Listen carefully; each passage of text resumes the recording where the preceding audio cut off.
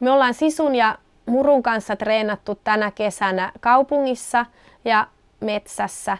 Metsässä haaste on se, että koira voi luulla, että ollaan lenkillä, mutta koira saa työliivin päälle, jolloin se tietää, että nyt työskennellään ja sieltä voi löytyä kaukolämpövuoto.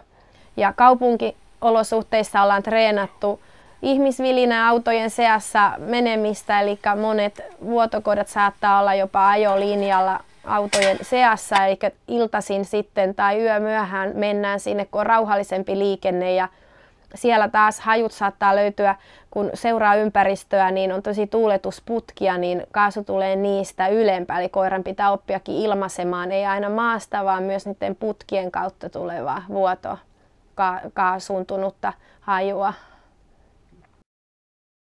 Eli Turku Energialta ollaan käyty muutaman kerran haistelemassa, ihan ne on saatu kartat ja alueet, mihin me ollaan menty koirien kanssa haistelemaan. Ja esimerkiksi Orikedollakin, niin he tiesivät, että siellä vuotaa jostain, mutta he ei tiennyt tarkkaa paikkaa. Niin mistä me oltiin koirien kanssa siellä luhkiskelemassa, missä, mistä sieltä löytyisi sitten sitä hajua.